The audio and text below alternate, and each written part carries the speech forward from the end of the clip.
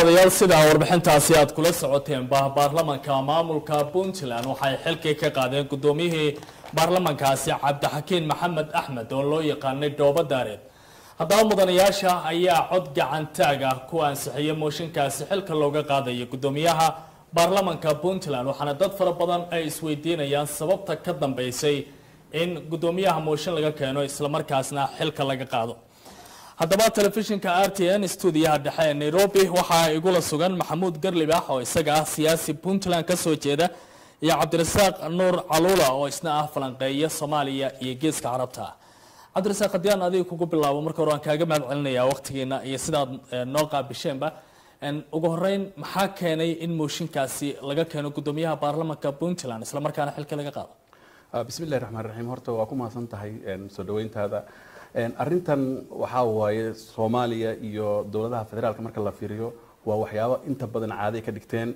Labadan hay'adooda kala madax banaan oo hay'adaha hay'addan mataqaanaa hay'addan dastuuriga ah oo sharci dejinta iyo hay'addan mataqaanaa fulinta ah.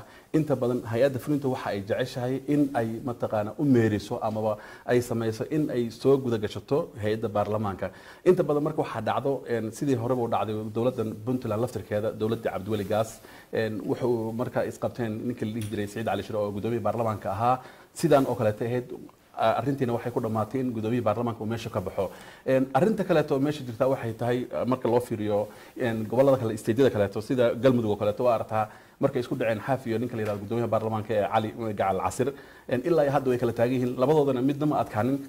Arrintani waxay isu bedeshay in meesheedii mataqaana ay joogto dhibaatadana ay sii taagnaato waa tahay maxamuud garlibax adiga markii aan imaado in mooshinkan uu yimaado islamarkaana guddoomiyihii baarlamanka puntland doobo xilka laga qaado. Ma khilaafka dowlad goboleedka dowlad goboleedyada dalka iyo dowladda federaalka udhexeeya ayaa qeyb ka ah. Mise waa puntland wax ku kooban iyo madaxda maamulkaas wada shaqeyn isku fahmi waay bismi illah cabdicasiis aada baa u mahadsan tahay. Horta hore dadka puntland waxaa haystaa laba daran mid dooro.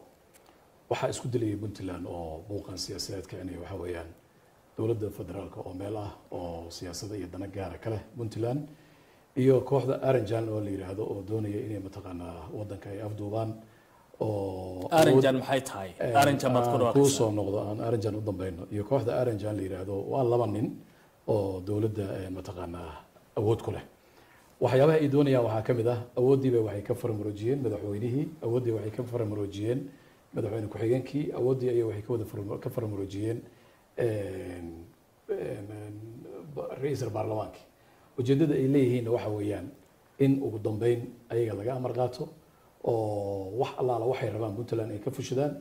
Cabdicasiis sidaan ognahay waayihii hadda u dambeysay bishii u dambeysay puntland waxaa ka jira buuq aada u weyn oo ah airboortkii dekedii maxjarkii iyo shirkadii korontada mataqaanaa boosaaso ku taalay in la gataa la doonayaa waxaan oo dhan waxa loo sameynaya kooxdan u sameynaysa waxa weeyaan sidii mataqaanaa waxyaabahaas ay baarlamaanka u marsan lahaayeen. Marka haddii aan u soo laabto aragtidaada waa puntland wax ku kooban oo dowladda federaalka aysan qayb ka ahayn. Dowladda federaalka qayb bay ku yihiin qaybta ay ku yihiin ay ka leeyihiin waxa weeyaan siyaasiyiin ka mid ah dowladda puntland ama xildhibaano xildhibaano ay ka mid yihiin ayay waxay siinayaan dhaqaalo si nabadgelyada puntland maanta ka jirta si loo weeqo oo hadda siyaasadda cusub ay la soo baxday dowladda federaalka oo madaxweyne farmaajo horboodayo. Waxaad moodaa sidii dowladda imaaraadka iyo madaxda carabta oo kale in meeshay galaanba la burburiyo oo aanan la wanaajin. Arag waxaa hadda ka dhacaya galmudug waxaa ka dhacaya mataqaanaa ii sheeg jubbaland. Arag ujeedadooda waxa weeyaan mataqaanaa in meesha ay ka dhacaan mataqaanaa nabadgelyada la weeqo aad baad umahadsanta garlibax inkastoodan aranjan waxaa ula jeedaadan ii sheegin waan ku iman doonaa. Waxaan jeclahay caluula inaan dhinacadaado mooshinkan ma la filan karay mase waxa uu ahaa wax mar kaliya soo booday iyadoo dad fara badan oo reer puntlandna la ogyahay waaqacaga siyaasadda maanta jirta inay si weyn u fahmi karayaan horta marka horeeto mooshinkan mar walba waa la filayay inuu dhaco. Sababtoo ah doorashada marka ugu horeysa puntland dhaceysay sideedii january waxaa jirtay madaxweynaha iyo madaxweyne ku-xigeenka iyo ra'iisul baarlamaanka saddexdii doorashada ku soo galay. Saddexdooda waxaa laga yaabaa saddex qof oo aan wada socon amaba mataqaana isku afkaar ama isku ujeedda aanan ahayn. Saasay ku soo wada galeen aragtida ugu horeysa marka madaxweynaha amaba qaybta fulinta waxay mataqaanaa ay saaraysaa ishaarada amaba toos u abaaraysaa ra'iisul baarlamaanka. Hadduu ra'iisul baarlamaanka la shaqayn waayo waxay bilaabayaan ololo ah sidii ay uga tuuri lahaayeen ra'iisul baarlamaanka. Si markaas ay u helaan ra'iisul baarlamaan la shaqayn kara hay'adda tanfiidka ama ay u meerin karaan wax kastoo ay danahooda ku fashan karaan. Waa tahay garlibax haddii aan mar kale kuu soo laabto dad fara badan baa waxay isweydiinayaan guddoomiyihii baarlamanka puntland haddii xilkii xildhibaanadii ay ka qaadeen inkastoo isagana uu diidan yahay oo leeyahay sharci maaha waxaa la isweydiin karaa maxaa xiga? Waxa xiga waa iska caddahay. Wixii dhacay xalayto oo ahaa in baarlamaankii puntland la weeraro dad lagu laayo waxaasoo dhan iyo iyo rididda la riday dhoobo daareed waxay ka turjumaysaa mataqaanaa ii sheeg kacdoon ku soo wajahan puntland oo dadkii wax isku darsaday puntland. Ilaa puntland waxay ka kooban tahay qabaa'ilo qabaa'ilada mataqaanaa in mataqaanaa ay su'aal ka keenaan jiritaanka puntland. Su'aashii haddaay ay weydiiso danoodo aranjan yeey tahay.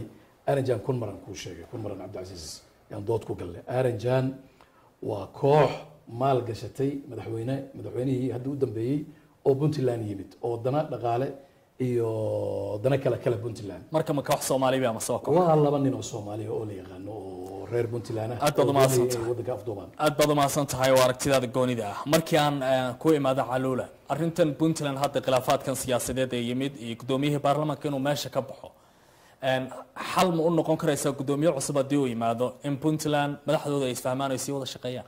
Dabcan hadda xoogga waxay saarayaan qaybta mataqaanaa fulinta in ay soo saaraan nin ayaga taageersan amaba ku taageersan mabaadi'da ayaga ay wataan ama ay ka leeyihiin ujeedooyinka mustaqbalka ama afarta sano soo socota ilaa labada kun iyo saddex labaatanka. Taas waxay keenaysaa marka in dowladda iyo eh, ra'iisul baarlamaanka cusub ay isla jaanqaadi karaan. Meelo badan bay ka dhacday sida mataqaana koonfur galbeed jubbaland macnaha iyo xataa dowladda dhexe marka loo fiiriyo.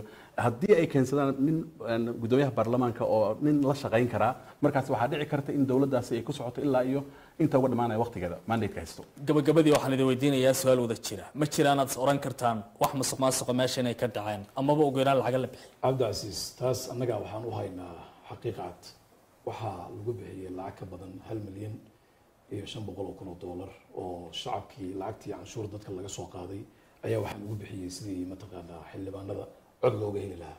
Taariikhdana ma dhicin afartan iyo sagaal xildhibaan inay mataqaanaa cod siiyaan dowladdii. Marka waad garanaysaa waxa meesha ka dhacay inay tahay mataqaanaa dowladdii xildhibaanadii in la iibsaday. Taas waa caddayn weeyaan. Arrintaasna waxay keeni doontaa in baarlamaankii puntland uu afduub noqdo oo sida kan hadda ka jiro oo kale baarlamaanka federaalka yaa muqdisho bixiya ka jiro oo kale. lacagtaad isleedaha marka waxaa wasiirka maaliyadda waa iska caddahay waxaa bixiyey wax ood loo heli karo aaminsantahay inay jiraan? Aragtidaada aad ku difaaci karayso. wallaahi caddaynta waa iska caddahay shalay xildhibaanada waa arkaynay. Waxay ka soo horjeedeen deni oo ay lahaayeen mataqaanaa waqtigaaga waa dhammaaday waa inaad dhacdaa isla ayagiiba haddana maanta dhinac kale u soconayay si kooban waad garanaysaa fadlan igu shuba inay tahay. caluulan qaybsiinaya caluulan misleedaha way jiri karaan musuq maasuq. Arrintan siyaasadan iyo guddoomiyaha baxay lala xiriirin karaa intaba. Kolley waxaan u malinaya musuqmaasuqa kama mataqaanaa kama waa muuqataa laakiin cid taaban kartaa ama een, waqtiga la siiyey ama qaabka loo siiyey ama inta kimiyad baxday lama sheegi karo. Laakiin waxaan ku sheegaya mid een, arrinta soomaalida waxaa waaye dhibaatada ugu weyn haysta waxaa waaye systemkan dimuqraadiyadda ama doorashada baarlamaanka iyo hay'adda mataqaanaa fulinta iyo hay'addan een, sharci dejinta way kala madax bannaan yihiin.